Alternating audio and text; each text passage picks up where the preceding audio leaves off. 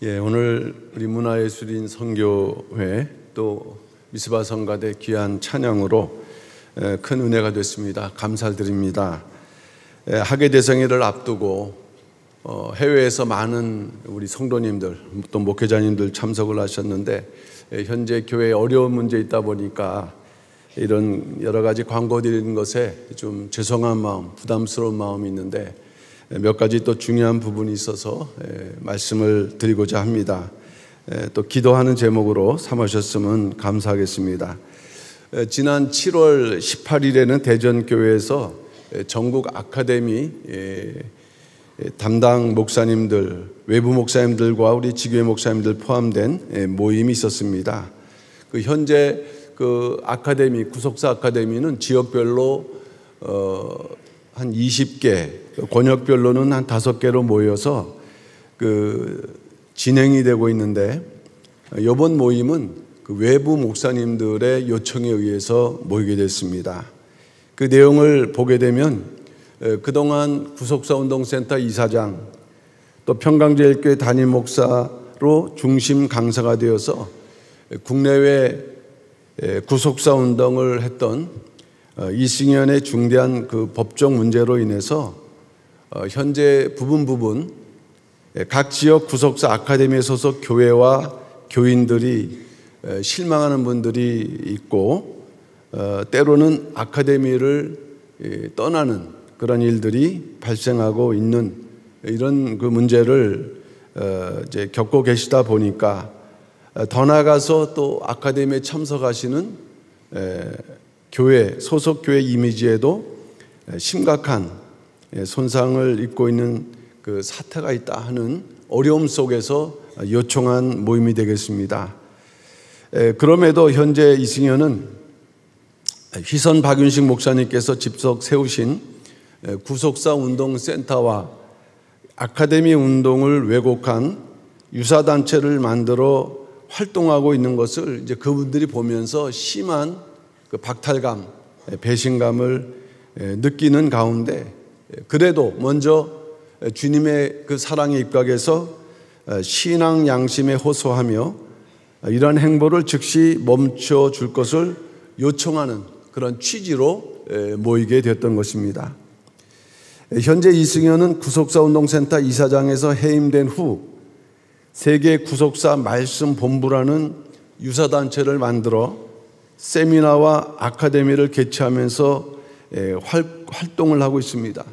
그러다 보니까는 이 외부 목사님들은 어디에서 말씀을 들어야 될지 양쪽 듣기도 하고 하는 이런 문제가 현재 발생을 하고 있는 것입니다.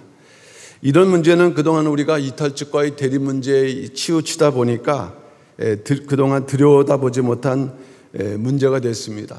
그래서 앞으로 이런 어려움을 당하고 있는 그 외부 목사님들과 협의하고 또 논의하면서 입장을 다듬어 나가고 여기에 대한 대책을 이렇게 세우려 하는 어, 예정에 있습니다.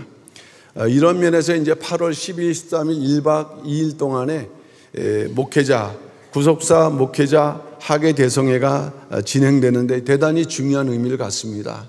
앞으로 구속사 세미나는 이전에 아카데미를 기반으로 해야 된다. 그러니까 이제 아카데미별로 또 모여야 되는데 그래서 우리 성도님께서는 이번 그 구속사 목회자 아카데미가 이런 의미에서 어, 중요하다. 그래서 앞으로 우리가 그분들에게 은혜를 끼치고 함께 가는 그러한 시간이 되는 만큼 기도해 주시고 또 주변에 참석하실 수 있는 분들은 우리 목회자님들을 전도해 주셔서 이번 1박 2일이지만은 참석해서 큰 은혜를 받으실 수 있도록 성도님들 협조를 부탁을 드립니다. 두 번째는 지난 그 긴급 당회에 모였는데 내용 중에 14일 지난 14일에 그 서울 남로에서 면직된 이승현을 비롯한 면직 목사들의 주도로 불법적인 그 목사 안수식 교육전사 임명식이 있었습니다. 어, 이에 대해서 교회의 입장을 정하지 않을 수가 없고 또 교회의 입장을 표현하지 않을 수 없었습니다. 이에 대한 강력한 규탄하는 결의안을 채택을 했는데 어, 이것이 왜 문제인가, 어떤 불법적인 요소가 있는가라는 것에 대해서 간략하게 요약을 하면 첫째는 교단과 노회의 치리권을 무시하고 평강제일교회 명칭을 도용한 점. 그 순서지를 보면 거기 평강제일교회라고 되어 있습니다. 두 번째는 평강제일교회 담임 목사의 인사권을 침해하고 정기당의 보고권을 침해한 점. 세 번째는 교회를 분열시키는 명백한 이탈 행위로서 상해인 노예와 교단 총회까지 조롱하는 파렴치한 행위인 점. 넷째는 서울 남부 지원의 서울 남로에 대한 명칭 사용 금지 가처분이 제기된 상태인데 사법부의 결정 이전에 이처럼 교회 그 결정을 무시하고 어, 교회의 기초와 기독교 교리를 뿌리째 흔드는 이 사이비적 행태라는 점에서 불법 행위다라고 우리가 규정을 하고 여기에 대해서 당의원들은 어, 교인들의 대표입니다. 그래서 어, 다음과 같은 결의를 했습니다. 이탈 측의 불법 목사 안수식에 대한 평강제일교회 당회의 결의문 제가 그냥 읽어드리도록 하겠습니다. 하나, 당회는 이승연을 위시한 면직 목사들이 더 이상의 교회를 분열시키는 불법 행위를 중단하고 주님 앞에 깊이 자숙하여 회개할 것을 촉구한다. 하나, 당회는 불법적으로 임직된 목사와 교육 전사들을 결코 인정할 수 없으며 이를 주도한 참칭 서울 남로의 관련자들의 사죄와 원상 회복을 요구한다. 하나, 당회는 참칭 서울 남로의 면직 목사들의 교육 전사 임명 등 담임 목사의 인사권과 당의 권리 침해에 대하여 깊은 유감을 표방하는 바이며 이를 바로잡기 위한 법적인 조치 등 어떠한 조치도 불사한다.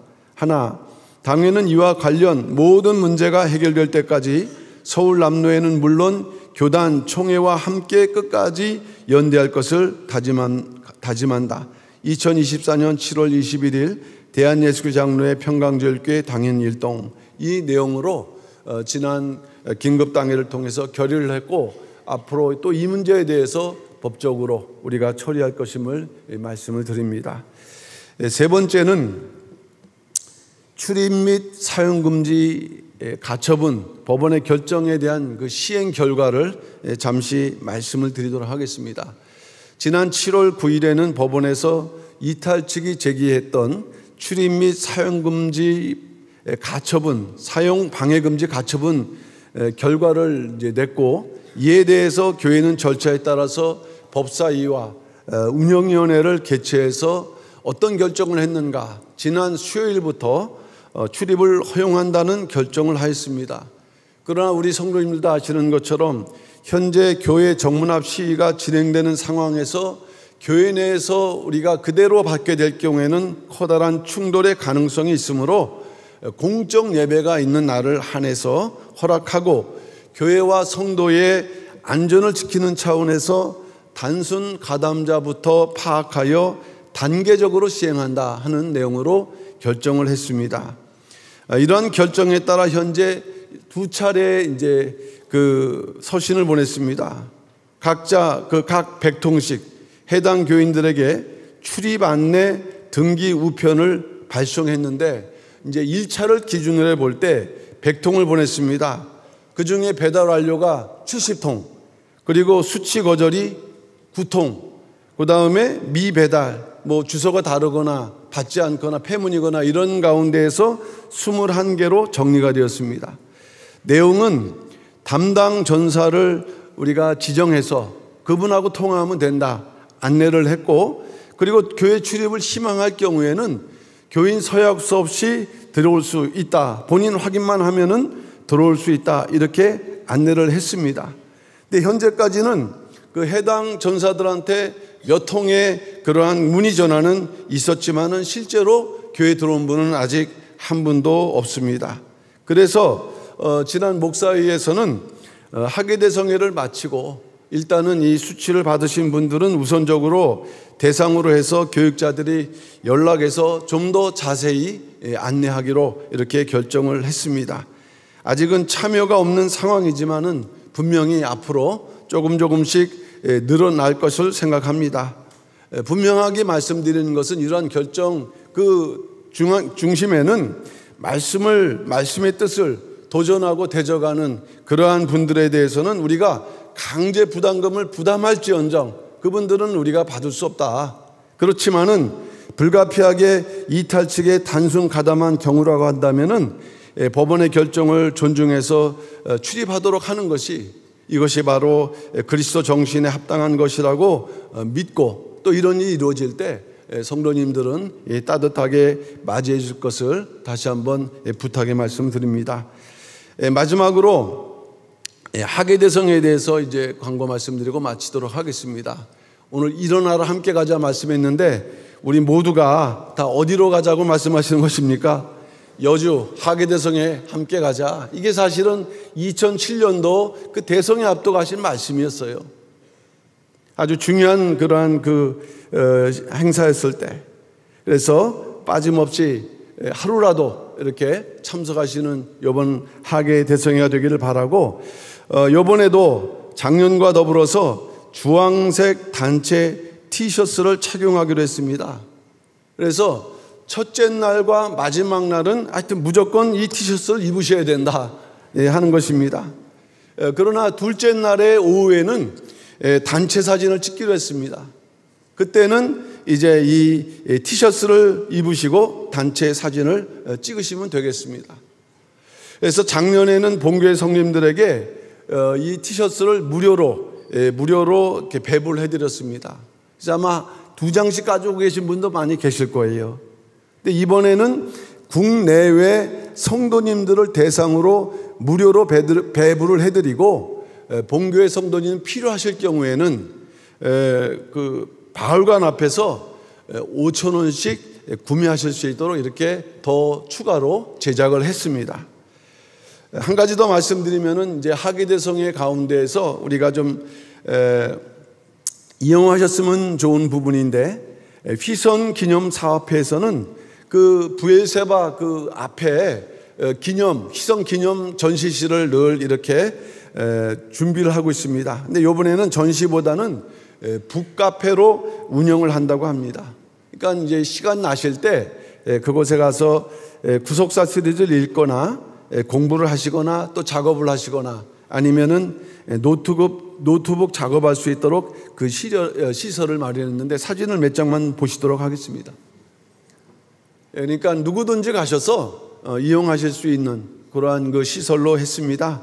그래서 이따 자세한 것은 광고 때 이제 말씀드릴 텐데 어쨌든 이번 하계 대성에는 또 작년과 다르게 우리가 다시 이 모든 문제를 해결하고 더 힘차게 나갈 수 있는 그런 기회가 된다는 것을 믿으시고 이번 어, 또 오늘 말씀처럼 기도할 수 있는 기회로 삼으시면서 교회 또한 화합과 부흥의 기회가 된다는 면에서 빠짐없이 기도해 주시고 참석해 주시는 우리 평강의 성도들 되시기를 부탁의 말씀드리면서 광고 말씀 마칩니다. 감사합니다.